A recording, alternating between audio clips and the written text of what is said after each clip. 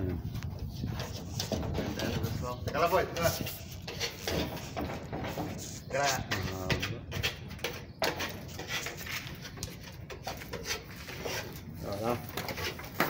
Na. Hmm. Ang intro na? Hmm. Oh. Salta pa nila. Salita na kung anong unahin mong gagawin. Okay, okay. Good morning, guys. Trabaho na naman tayo ngayon. Hindi na yan pare, pagkabrad boy. Ha? Hindi na yan sa pagkapunta na bro.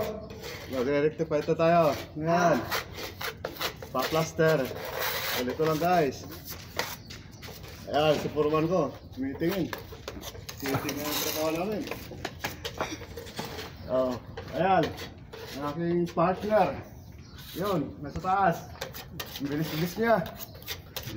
Boy, halika naman sa mga guys natin dito. Wala si Boy. Hindi makita. Hindi makita si Boy.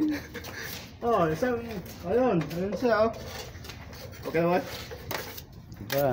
Nagsi pa mga 10 Oh. minutes. Ha? Mga 10 minutes. Oo. Oh. Baka na tayo. Tapusin daw, sabi ng engineer. Para hindi makalit. Kahit na walang sweldo.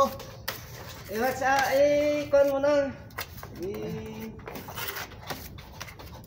watch out mo na si Oh. boss natin dyan. Si Majed Magawin. Oo. Sana makonsensya, magpasahod sila.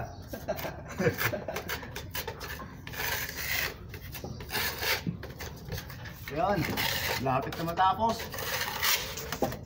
Kahit na walang sweldo. Na. Hindi pa. Wala pa. Mababa pa eh.